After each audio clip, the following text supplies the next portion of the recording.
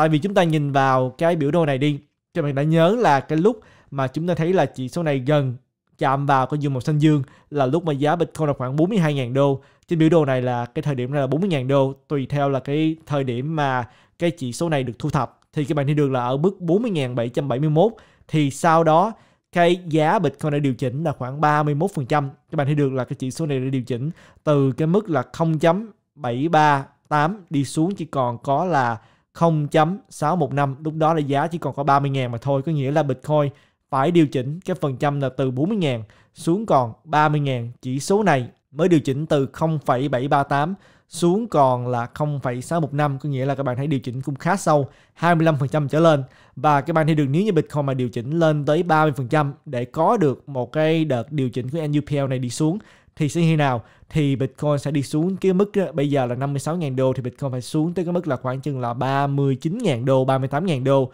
Thì đó mới là lúc mà chúng ta thấy cái à, biểu đồ NUPL này điều chỉnh xuống. Cho nên nếu mà điều chỉnh á, thì sẽ điều chỉnh sâu nếu như không thì cái biểu đồ này sẽ không được reset lại. Đây là điều mà các bạn cần phải hiểu.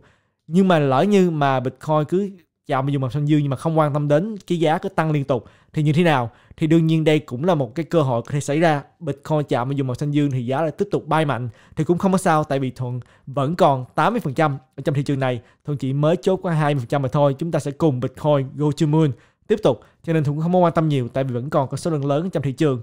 Thì câu hỏi kế tiếp là tại sao lại lựa chọn là chốt 20% mà không phải là 25%, không phải là 30%, không phải là 40%. Thì có một số lý do. Đầu tiên hết các bạn thì được là 20%.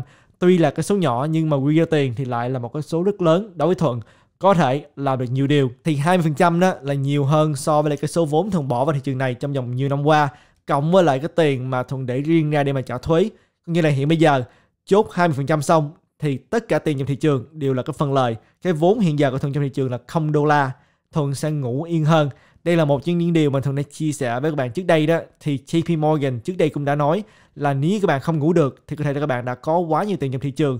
Các bạn cần phải rút tiền khỏi thị trường cho đến khi nào mà các bạn ngủ được mới thôi. Đây là cái câu nói mà của JP Morgan mà thường đã từng chia sẻ với các bạn. Các bạn nên nhớ là lợi nhuận đó ở trên màn hình chỉ là lợi nhuận ở trên màn hình mà thôi. Khi nào mà tiền về tài khoản, về ngân hàng các bạn thì mới là tiền của các bạn. Cho nên đây là điều rất quan trọng các bạn thấy được là các bạn có thể là triệu phú nhưng mà các bạn chỉ có thể thấy con số trên màn hình mà thôi nếu như mà giá cả đi xuống liên tục nhanh thì các bạn sẽ cảm thấy là các bạn sẽ nhanh chóng thay đổi là cái số tiền các bạn sẽ mất rất là nhanh cho nên các bạn cần phải chốt về tài khoản nếu các bạn muốn tiền đó là của mình đây là một điều mà rất là quan trọng đầu tư thì phải có mục đích các bạn không nên đầu tư chỉ vì đầu tư nếu như mà các bạn đầu tư mà các bạn chỉ muốn thấy tiền lên tiền lên và các bạn không mục đích thì đây là một cái dấu hiệu là các bạn đang nằm trong cái thời kỳ rất là tham lam tại vì các bạn cũng nên nhớ đó là lần đầu tiên lần đầu tiên các bạn bỏ tiền vào trong thị trường crypto này thì lúc đó các bạn có nghĩ gì? Các bạn nghĩ là đầu tư để có lời để làm gì? Để có thể mua xe có thể mua nhà có thể uh, lấy vợ có thể lấy chồng vân vân. Vì một lý do nào đó các bạn đã chấp nhận đầu tư vào thị trường này thì các bạn đừng quên mục đích của mình. Nhiều khi các bạn đã đạt được mục đích rồi, có nghĩa là cái tiền lời các bạn đã đủ để đạt được mục đích mà các bạn đặt ra ban đầu, nhưng mà các bạn vẫn tiếp tục giữ, tại vì các bạn muốn có thêm và có thêm. Đây là một điều rất nguy hiểm. Cho nên đối với thân thuận đó 20% thì đã đủ để mà đạt được mục đích của thuận ở cái thời điểm này. Điều quan trọng mà con cần phải hiểu đó, đây là một yếu tố rất quan trọng mà thường cảm thấy là nhiều người không nói tới. Điều quan trọng là các bạn cần phải quản lý rủi ro. Rủi ro không biến mất, rủi ro là chỉ được quản lý mà thôi các bạn thấy được là nhiều bạn, thì nghĩ là khi mình đầu tư 10.000 đô đi, thì cái số tiền đó các bạn thấy thị trường tăng trưởng mạnh, thì từ 10.000 trở thành 100.000 thì cái phần rủi ro vẫn là 10.000 đô. Điều này không phải mỗi ngày mà các bạn không rút tiền ra khỏi thị trường. Có nghĩa là mỗi ngày bạn chấp nhận đầu tư với cái số tiền đó. Có nghĩa là mỗi ngày bạn chấp nhận tái đầu tư với cái số vốn là 100.000 đô, chứ không phải là 10.000 đô. Đây là điều rất quan trọng mà bạn cần phải hiểu. Thì câu hỏi là trong cái ví dụ này bạn có chấp nhận rủi ro 100.000 đô hay là không? Nếu như không, thì các bạn cần phải rút đến mức nào mà bạn chấp nhận rủi ro? Và bản thân thuận thì cũng như vậy mà thôi.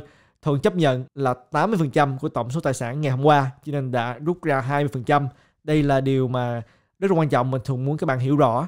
Về cái sự là mỗi ngày các bạn không có lấy tiền ra thị trường, thì mỗi ngày các bạn tái đầu tư với số tiền đó thì nhiều bạn hỏi thuận là thuận có nghĩ thị trường sẽ sập hay là không? Thì đương nhiên là hiện bây giờ thuận vẫn không có lý do gì nghĩ là như vậy. Nếu như thuận nghĩ như vậy thì đã chốt lời phần trăm nhiều hơn. Thì nhiều bạn hỏi thuận là chốt 20% là của tất cả các đồng hay là chỉ đồng Bitcoin mà thôi? Thì hiện bây giờ là thuận chốt 2% là của tất cả các đồng. Tại vì nếu như mà Bitcoin điều chỉnh á, thì các bạn sẽ thấy được là những đồng khác cũng sẽ điều chỉnh theo và điều chỉnh phần trăm còn cao hơn nữa.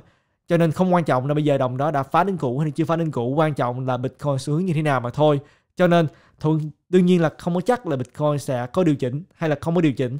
Cho nên 2% là cái phần mà thường muốn rút ra thị trường này. Nếu như Bitcoin tiếp tục tăng thì vẫn còn 80%, còn nếu như mà Bitcoin điều chỉnh thì vẫn vẫn còn 2% nếu như mà hợp lý thì có thể là mua lại. Và 2% đó là nhiều cái phần vốn rồi. Và câu hỏi kế tiếp nhiều bạn muốn hỏi thuận là thuận có còn trung bình giá hay là không thì vẫn tiếp tục trung bình giá không gì thay đổi hết. Thuận đã có cái ý định là đầu tư vào thị trường này lâu dài cho nên thuận vẫn tiếp tục trung bình giá.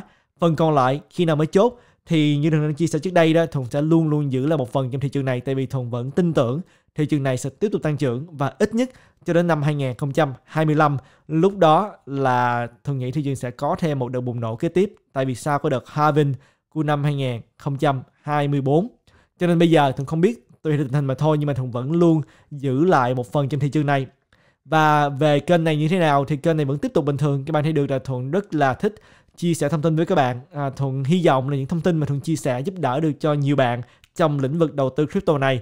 Bản thân thuận đó chỉ là một người đầu tư như các bạn mà thôi. Thuận biết gì thì chia sẻ đó chứ không phải là chuyên gia hay gì hết. Thuận cũng như các bạn muốn cùng nhau tìm hiểu và cùng nhau có lợi nhuận trong cái thị trường này.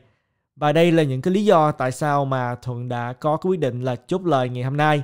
Bây giờ thì thuận muốn dành thêm một ít thời gian để mà chia sẻ về cái thông tin liên quan tới tại sao mà công ty Michael Saylor lại đi bán trái phiếu đi vay mượn nợ để mà mua Bitcoin? Tại sao mà ông ta làm cái điều điên rồ gì và tại sao mà cổ đông và hội đồng quản trị lại để công ty MicroStrategy làm như vậy? Có phải là quá nguy hiểm hay là không? Thì thùng muốn chia sẻ thêm một số những chi tiết về cái vấn đề này. Thì hôm qua Thường có chia sẻ với các bạn đó là công ty MicroStrategy đã thông báo chính thức là họ sẽ bán thêm trái phiếu để mà đi thu mua thêm Bitcoin.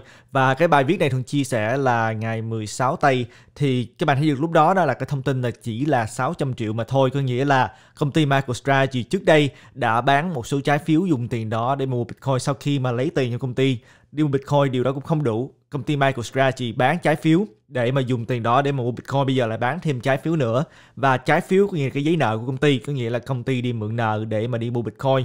Thì khi mà chúng ta nghe nói cái thông tin này, cái bài viết này thường chia sẻ ngày 16 tây lúc đó là chỉ có 600 triệu mà thôi, nhưng mà họ đã đẩy lên tới cái số chính thức là 900 triệu. Nghĩa là họ sẽ bán 900 triệu trái phiếu và sẽ kết thúc ngày mai.